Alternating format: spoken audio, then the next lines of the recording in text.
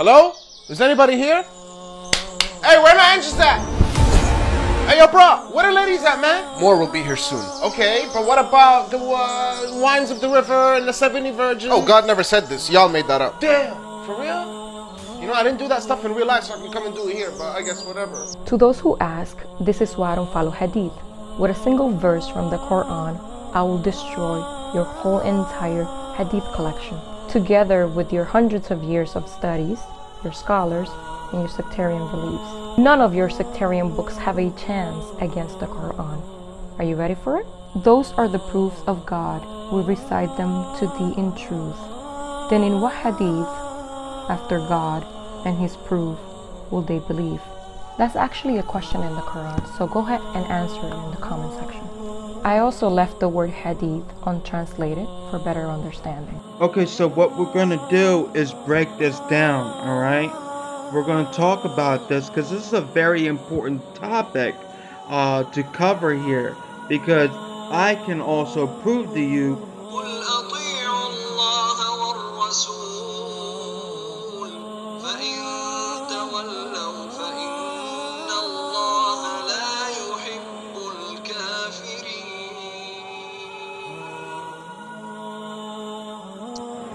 Assalamualaikum warahmatullahi wabarakatuh. Alhamdulillah.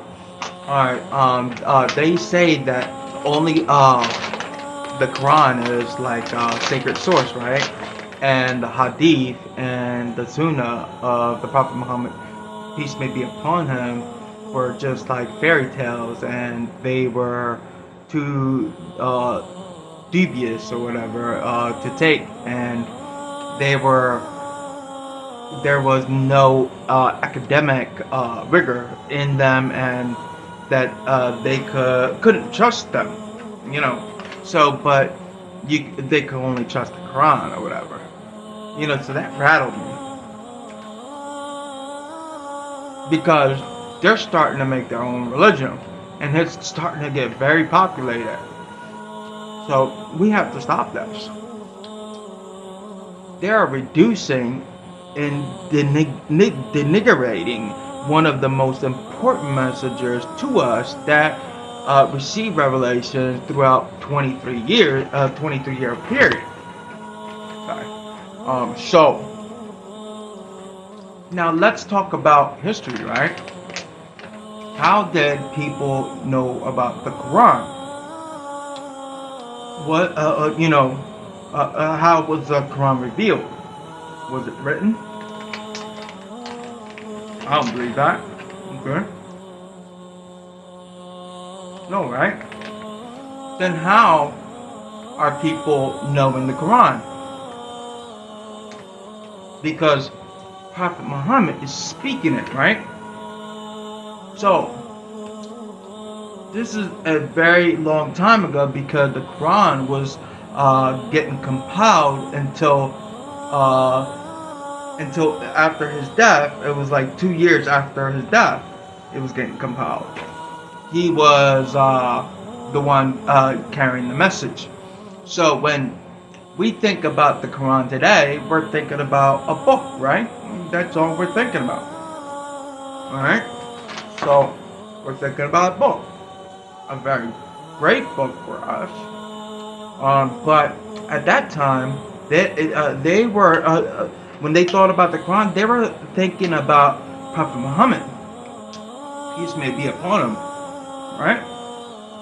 So, let's get this straight. The Quran and Prophet Muhammad was inseparable. So why does it need to be inseparable now? Alright? Why do we have to change history? And at the time, they couldn't even uh, think about a book. They didn't have that capability as we do today. This is a very, very important topic. Um, and it's something that's really, really important. So I want to make supposedly this quick video and highlight what the role of the messenger is. And I'm going. I'm only going to speak from the Quran because uh, they don't believe in anything else. All right. I mean, I, I, I, I'm not in that religion, so I'm in the religion of Islam. I, I don't know what Islam that they're practicing, but Allah tells us the role of the messenger, and obviously the final messenger, you know, Prophet Muhammad. All right.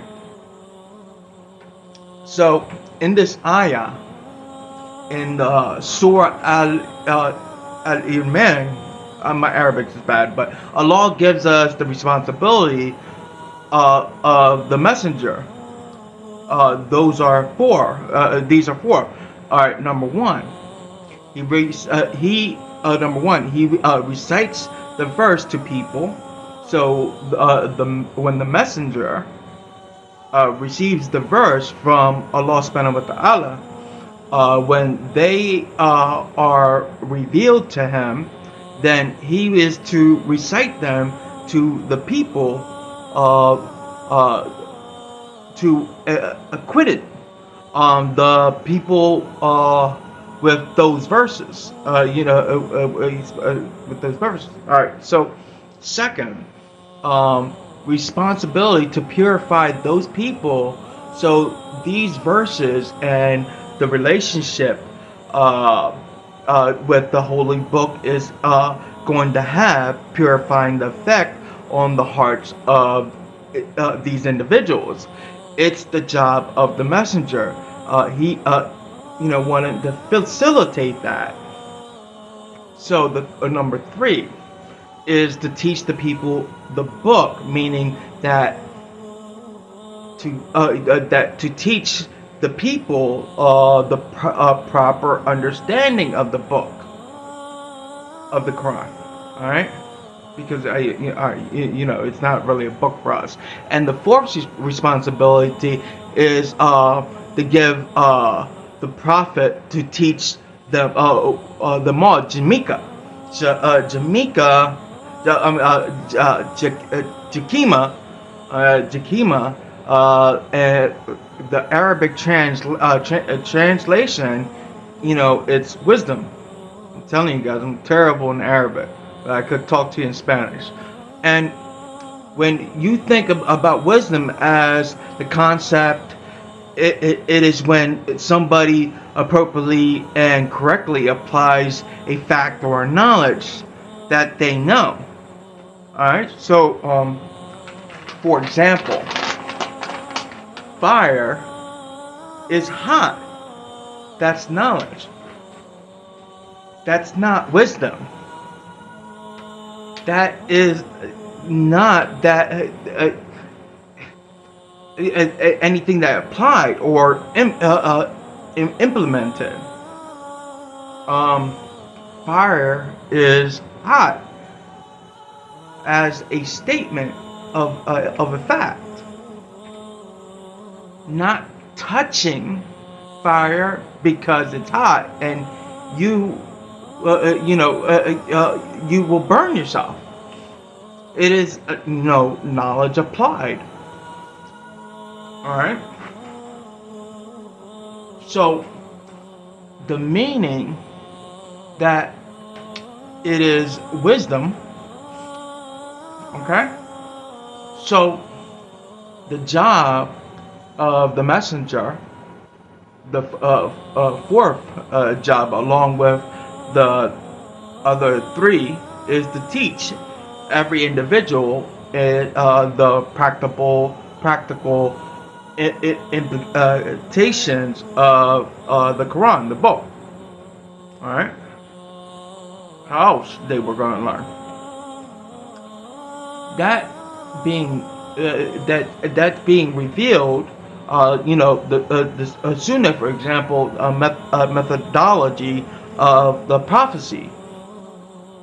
Um, so this is how Allah Himself leg- legislate that the messenger is the role, and not reduce that the mailman or the person who is uh, just delivering person hear the Quran, you know, say here, here's the Quran and thank you and have a nice day. No, um, but it is in uh, but it is uh, the job of the messenger to deliver, to teach, uh, to deliver, you know, and recite, to teach and purify, uh, and give practical uh, implication uh, implications to the people to know exactly how am I supposed to act upon, you know, this book, the Quran that was revealed to him.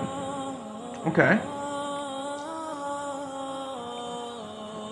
So uh, that's number uh, one. The second uh, uh, major point that we find the Quran, uh, uh, you know, the role of the messenger and the obedience of the messenger, because now uh, that's that we've established the role of the Prophet Muhammad, peace may be upon him. We established the um, role. Uh, now, second question is we do have to listen and obey everything uh, he says and the things that he teaches us. Allah says it himself. He answered this question very powerfully through a Quranic re- revelation. Yeah, you didn't know that? Alright, let's talk about it when Allah talks about the concept of authora. Um, authora in Arabic language means obedience. Alright? Terrible in Arabic, alright? And Allah clearly, clearly in the Quran talks uh, about the human uh, being's job is to obey Allah, right? What's so interesting is that in every single verse that Allah talks about obedience to uh, Allah, um, He couples that with obedience to the messenger, Prophet Muhammad. Very powerful, very important for us to know that when Allah talks about obedience to Himself, He couples that with the messenger.